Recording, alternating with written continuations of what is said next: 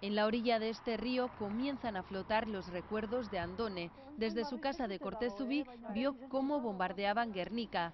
Apenas tenía nueve años, pero recuerda como si fuera ayer lo que los gudaris le dijeron la víspera del ataque. Guernica estaba en peligro.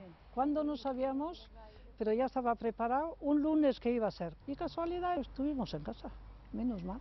Aquel día sus padres bajaron a Guernica, pero ella y sus hermanos se quedaron haciendo las labores del caserío. Cuando vino el avión, las sirenas, y las sirenas ya empezaron, las sirenas y las campanas.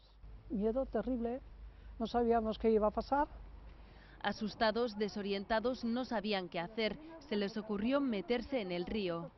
Pensando que allí no nos ven, no nos atrevíamos a ni hablar, porque pensamos, si estamos hablando, hoy nos oyen. Fíjate, ¿eh? cuánto tiempo, desde las 4 de la tarde hasta las 8 y pico, hasta que se terminó. Cuatro horas dentro del agua sin apenas moverse. Cuando salieron de allí, el panorama era desolador. Todo era, todo era fuego. Han pasado muchos años, pero el sufrimiento de entonces aún les sigue haciendo daño. Pensando solamente, es que me entra enseguida tristeza de olvidarnos.